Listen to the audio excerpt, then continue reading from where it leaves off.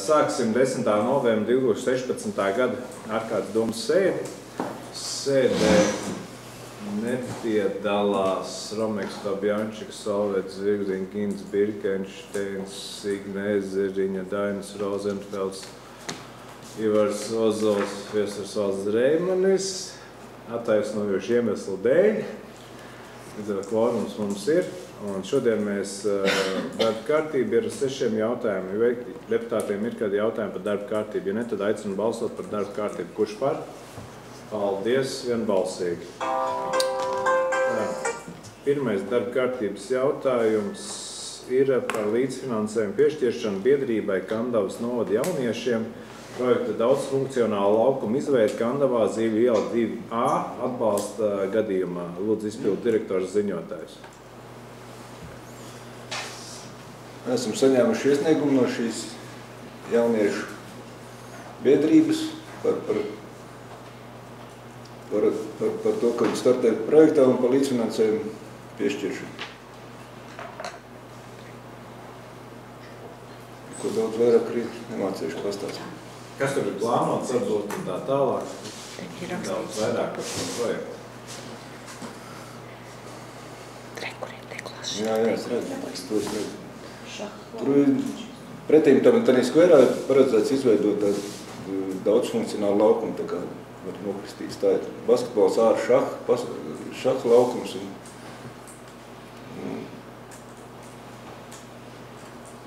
un nu, arī kaut kā tā jau brīvā laika aktivitāšu laukums. Jā, lūdzu, sev ir. Es varbūt varu Egēlam palīdzēt, par cik jaunieši šī biedrība pēr šo projektu. Jaunieši kaut kad veica tādu anketu aptāju, tas ir gadu atpakaļ, ko viņi gribētu šajā laukumā, un, un, un tad tās viņu ieceres, viņi lūdza uzlikt skiču projektā. Skiču projekts arī ir gatavs, ko Baiba Beķer uztaisīja. Mm -hmm. Un, un, un, un tā tad tiešām daudz funkcionāls. No tā, ko nosauc um, Egils, vēl, vēl tur ir skatuvīti iecerēta. Uh, un iecerēti ir, ir dažādām sportiskām aktivitātēm laukumi, tātad arī ir soliņi un tā tālāk. Ir ļoti interesanta uh, šī simboliskā nagla, tāds, nu, tāds veidojums. Uh, un arī tāda, kā saka, improvizēta arī ugunskur vieta. Bet šajā projektā ir, ir arī budžeta, ir, saka, budžeta tāmīts, ko iedevuši ir šie celtnieki. Tur varēs, protams, no tā visa ļoti maz ko izdarīt, jo izdevuma daļa ir liela.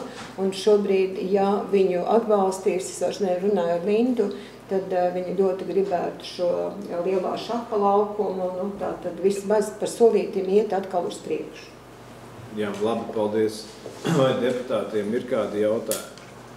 Šie 250 tūkstoši kopējais. 25. 25.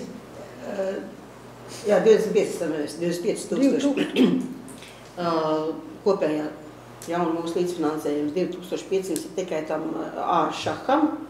Tas atrisinās tikai šo. Tā, tā tad, ka ja iedod, es drīkst atbildēt. Jā, lūdzu, Silvija. Ja iedod, ja iedod vārds sakot zaļo gaismu, tad, protams, kā jebkurā pasākumā ir iepirkums. Izejot no iepirkuma redz, cik daudz var realizēt. Es kundiņu pareizi atbildēju? Jā. Varbūt var papildināt, Jā, ka maksimālā projekta šī summa ir tai vienai aktivitātei ir tie 25 tūkstoši atbalstāmā. Mhm. Bet iepirkums, biedrība jau neveic cenu aptauju. Nē, cenu aptauja viņai ir, bet tanīpat laikā es redzēju cenu aptaujā divus piedāvājumus, un es teicu, ka varbūt tiešām ir labāk taisīt, nu viņi tais likumīgi, nelikumīgi iepirkumu, bet vēl vairāk piedāvājumus, tad redz, kas īsti notiek, bet divi viņai ir. Jo projekta konkursu nosacījumi jāprasa jebkurai pozīcijai vismaz divas cenu aptaujas. Tas ir izdarīts, jā. Un biedrībai jā, vai nebūs šis Es iepirkums. zinu, jā, bet mēs vienkārši pārunājam, ka varbūt tā mēs varam vairāk, kā saka, iegūt. Nu, jā, atbalsta gadījumā var atkārtoti Jā, atklāšanā. tieši tā. Vai deputātiem ir kādi jautājumi? Ja, ja jautājumi nav, tad aicinu balsot par sagatavotu lēmumu projektu. Pirmais projekts daudzfunkcionālā laukuma izveida Kandavā Zīvi iela 2A atbalstīšanas gadījumā piešķirt biedrībai Kandavas nodu jauniešiem, Kandavas nodu domas līdzfinansējumu 10% apmērā no projekta kopējām izmaksām, bet ne vairāk kā 2500 eiro. Otrais finansējuma projekta īstenošana paredzēt no Kandavas nodu domas 2017. gada pamatbudžeta. Trešais pēc lēmuma saņemšanas par projektu daudzfunkcionālā laukuma izveida Kandavā Zīļa iela 2A apstiprināšanu biedrībai Kandavas nodu jauniešiem noslēgt ar Kandavas nodu domi līgumu par finansējumu piešķiršanu un izlietojumu biedrībām un nodibinājumiem. Ceturtais biedrībai, Kandos novada jauniešiem, desmit darba dienu laikā pēc projekta īstenošanas iesniegt Kandos nodomē pārskatu par finanšu līdzekļu izlietojumu atbilstoši tā piešķiršanas mērķim. Tagad atbildīgais par lēmumu izpildes kontroli Kandos nodoms izpildu direktors. Kurš par? Paldies, vienbalsīgi. Otrais darba kārtības jautājums. Kādu projektu valodas pagraba izveidi Kandavas nodu muzejā pieteikumu? Lūdzu, ziņotājs Iro. Tātad Kandavas partnerīgi ir izsludinājuši šo projektu konkursu. Un esam sagatavojuši vairākus pieteikumus. Viens no tiem ir valodas pagraba izveidi Kandavas nodu muzejā. Projektā ir plānots Tā kā tad pats muzeja pagrabs, daļa no muzeja pagraba tiks pārbūvēta, tātad tiks izbūvētas kāpnes no pirmā stāva uz pagraba telpām, tad pati šī telpa tiks atjaunota, apkurus sistēma tiks izbūvēta, kā arī elektroinstalācija. Lai valodas pagrabs varētu funkcionēt kā, kā ekspozīcija, tātad vēl šā, šī projekta ietvaros tiks iegādāts mēbeļu komplekts, digitālā datortehnika, būs arī būvprojektā izstrādes izmaksas, ir autorizraudzība uzraudzība. Un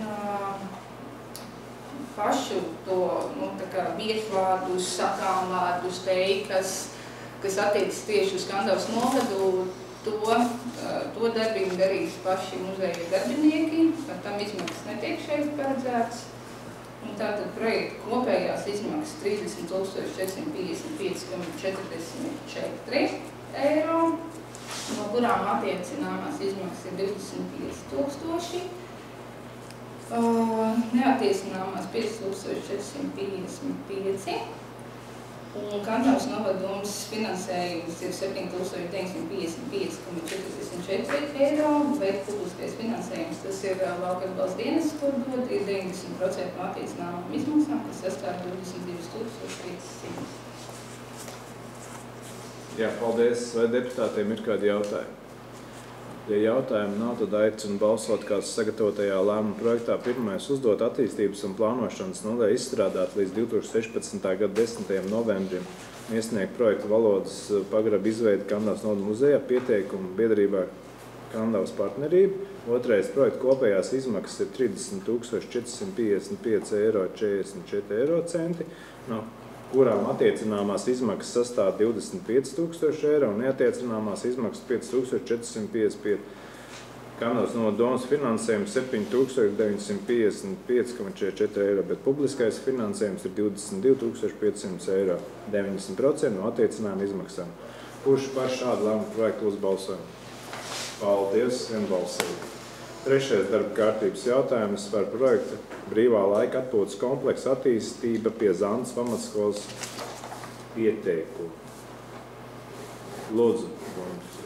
Tātad šis projekta pieteikums arī šo pašu konkursu iet, un šī projekta ietvaros ir plānots uzstādīt pamatlīdzekļus 12 gabalus Tie būs ārā trenažieri vairāki, tad ir vingrošanas līdztekas ārā sporta laukumiem, ārā līdztekas,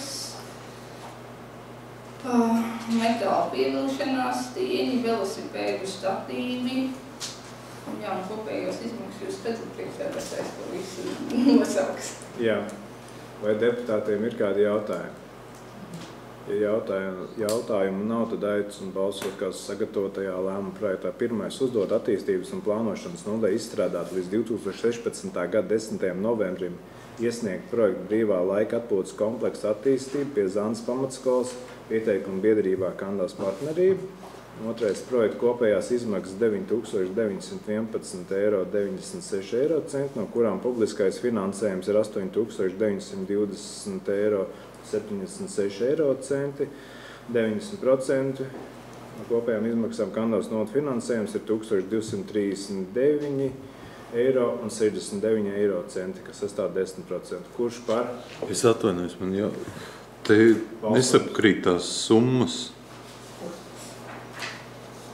Kur tu domā? Kopējās, iz... tas ir bez, ne, vienalga nesakrīt. 9911. sadalot uh, 8920, Plus 1020. tas ir, jā, tur lielākas summas, tur kaut kas nav. ir 10 tūkstoši pāri matemātiski rēķinot. Vai kas tur ir? Vai tur ir Attiecināmās izmaksas 9911,96. Publiskais finansējums ir 8920,76. Privātais finansējums, tas ir kādreiz no domas, ir jābūt 991,20. kurā? Tad, tas ir. Skandāls kādreiz no no domas finansējums. Jā. Nu, 991,20. Jo tas ir sastāv no kopējās izmaksām vai no publiskā finansējuma? No kopējām. Šeit, šajā projektā attiecināms ir pilnīgi visas izmaksas, jo Līdz ar to no kopējām izmaksām ir šie 10%, tad jābūt ir 901,20 tieši tā. Lūdzu, precizēt lēmumu projektu. Kurš par precizēt lēmumu? Paldies, vienbalsīgi. Ceturtais darba kārtības jautājums par projektu pamatlīdzekļu iegādi Kandavas kultūras nama pieteikumu. Lūdzu, ziņotājs Gunts Iro. Tātad tiks iegādāti trīs uh, komplekti pamatlīdzekļi. Viens būs mūzikas apskaņošanas komplekts, otrs mebeļu komplekts un trešais akustiskās sistēmas komplekts. Uh, un, uh, ja šos pamatlīdzekļus iegādāsies, tātad uh, pasākumi varēs notikt uh, gan brīvā dabā, gan telpās. Šī ir vai domā. Domāt, ir šī mobīla, mobilā pārvietojumā, jā. Arī šie, šie, šīs mēbeles ir galdi un, uh, un soli, pār, nu, viņi saliekami un tātad pārnesami. Jā, labi, paldies. Vai deputātiem ir kādi jautājumi? Ja jautājumi nav, tad plānu lūdzu Hivara. Kopējās izmaksas, neattiecināmās izmaksas, attiecināmās un kā tur sanāk, kā mums sadalās. Tā ir pareizies. Neattiecināmās izmaksas projektā. Tas iet uz domu rēķinu. tas ir uz domas rēķina, tad tas ir klāt pie 2000 Nē, tas ir jau kopā. Tas ir iet tur iekšā. Jā. Jā, paldies. Vēl kādi jautājumi? Ja jautājumi nav, tad aicinu balsot, kā sagatavotajā lēmuma projektā pirmais uzdot attīstības un plānošanas nodai izstrādāt līdz 2016. gada 10. novembrim iesniegt projektu pamatlīdzekļu iegādi Kandavas kultūras namam pieteikumu biedrībā Kandavas partnerība. Otrais projekta kopējās izmaksas ir 15 582 eiro un 49 eiro centi, no kurām attiecināmās izmaksas sastāda 15,000 eiro un 0 eiro centi. Un neatiecināmās izmaksas ir 582 eiro 49 eiro centi.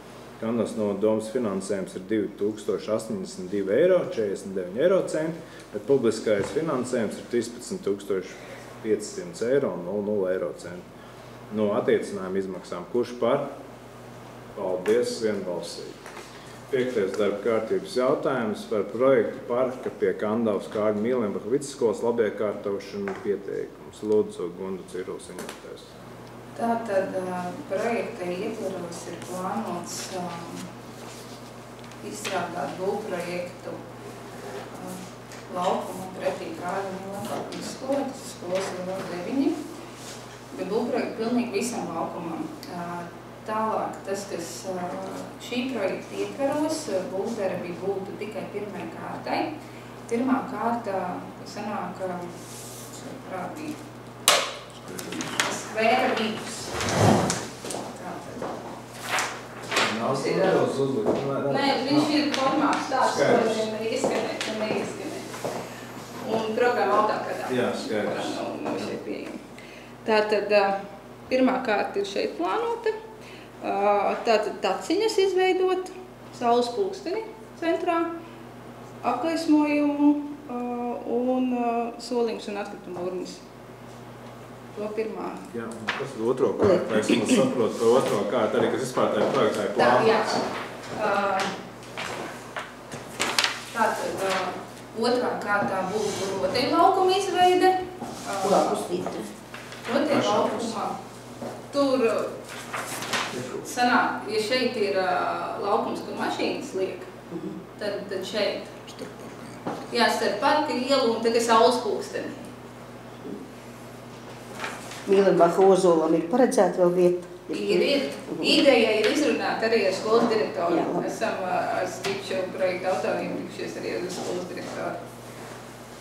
Tātad pēc tam trešā kārta ir pasteigta celiņa ierīkošana, apgaismojuma komunikācija valsts izbūve arhitektūras mazās formas. Trešā kārta ir parkielas izbūve un, ne, ceturtā kārta ir parkielas izbūve un piektā kārta stāvokuma ierīkošana pie skolas ielas. Un, jā, šīs izmaksas pirmai kārtai stipri vien pārsniedz uh, projekta attiecināmās izmaksas, tādēļ liela daļa ir neattiecināmās domas finansējums.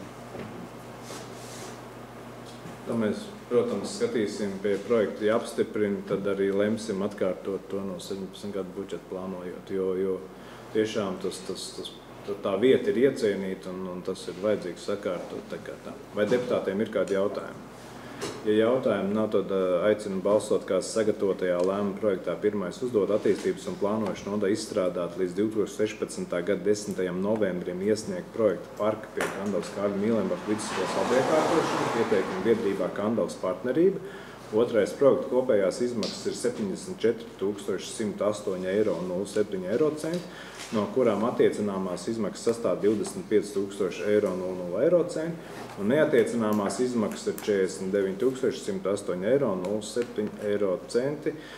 Kandavas nodomas finansējums ir 51 608 eiro un 07 eiro centi, bet publiskais finansējums ir 22 500 eiro un 0 eiro centi. 9% no attiecināmām izmaksām. Kurš par? Paldies, vienbalsīgi. Sestais darba kārtības jautājums par projektu dzējo izdāļo Kandavas vecpilsētu pieteikumu. Lūdzu, ziņotājs Guna Cīru. Tātad šī projekta ietvaros ir paredzēts uh, piecām ēkām. Tas ir Baznīca iela 1, Dārs iela 6, Lielā iela 12, Lielā iela 23 un Lielā iela 27. Atjaunot vienu fasādi un apgleznot, un apgleznot uh, ar dzeju par Latviju. Jā, paldies. Vai deputātiem ir kādi jautājumi? Ja jautājumu nav, tad aicinu balsot kā sagatavotajā lēmuma projektā pirmais uzdot attīstības un plānošanas nodaļu izstrādāt un līdz 2016. gada 10. novembrim iesniegt projektu Dzeja izdāļo Kandavas vecpilsētu pieteikumu biedrībā Kandavas partnerība. Otrais projekts kopējās izmaksas ir 23 959 eiro 96 eiro centi, no kurām attiecināmās izmaksas sastāda 20 808 eiro 78 eiro centi, un neatiecināmās izmaksas ir 3151 eiro 18 eiro centi. Kandavas nodomas finansējums ir 5232 eiro un 06 eiro centi, bet publiskais finansējums ir 18 727 eiro 90 eiro centi. 9% no attiecināmām izmaksām. Kurš par? Paldies, vienbalsīgi. Līdz ar to domas sēdes slēgt. Paldies par darbu.